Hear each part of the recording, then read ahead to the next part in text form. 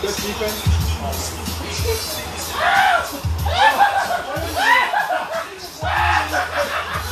Kill him! Part two. Kill him! Get the get back on the mat, Jeremiah. Don't let him save you up sick. Check your elbow to your hip. Elbow to your hip. Don't let him bend you that way. Your elbow with his straight to your hip, Jeremiah. Straight creep down this way. Don't try to squeeze.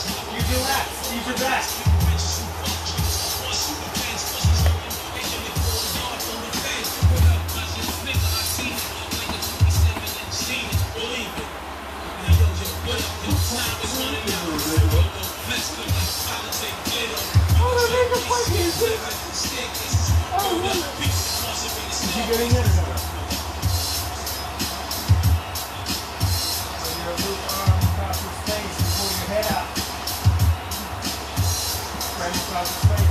Don't give him. I want Jeremiah to it. Jeremiah, sweep him. Sweep him. Switch! Good job. Good job. Get out, get out, get out. He would have died before he tapped